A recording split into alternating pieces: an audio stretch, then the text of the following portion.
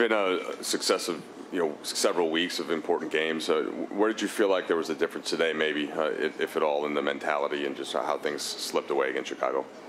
Um, I felt like they were more aggressive than us tonight from the jump. Like defensively, they uh, crawled up in us early, like made sure that we weren't getting the easy shots, easy looks off of pick and rolls. I felt like they were jamming us and fighting over screens, so that causes the big to be able to stay with AD, so we weren't getting lobs early. You know, just stuff like that where it was like I felt like our flow was kind of messed up early on, and that's hats off to them.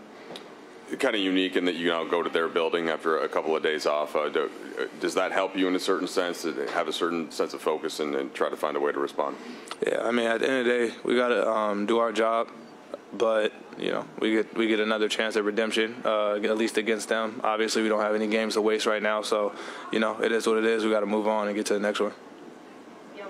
Um, Troy, how, how, did you feel like the, the offensive rhythm was incorporating LeBron back in and, and just sort of figuring out the flow again? Because you, you, guys had obviously played a certain way before you came back. Um, I mean, I feel like there's some good to it and some bad to it. Honestly, um, just it being so quick, it's like you kind of got to get used to it. Obviously, he plays a certain way, he moves the ball a certain, like you know, we were playing a certain style, and then he comes back, and it's like we have to adjust. So it's good to have these uh, next two days to you know figure it out and get it together. Obviously, we're very happy to have him back, but um, yeah, there were some things where it was like, dang, if we just had a little bit more practice, you know, it definitely would have helped us. But we're definitely happy to have him back.